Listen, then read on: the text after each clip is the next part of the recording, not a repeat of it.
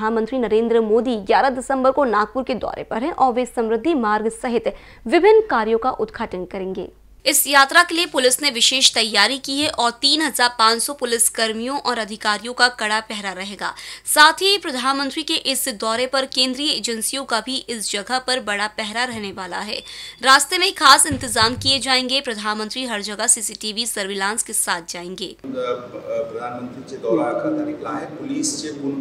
बंदोबस्त अ, बंदोबस्त असतील किंवा सभाचे ठिकाणीचे बंदोबस्त लागतील. सर्व बंदोबस्तचे नियोजन करण्यात आलेली आहे. रहदारीसला कमीत कमी अडथळा होईल याची पण काळजी घेण्यात येत आहे. रविवार असल्यामुळे त्यांचे दौराचे वेळी काही जास्ती ट्रॅफिक रस्त्यावर राहत नाही.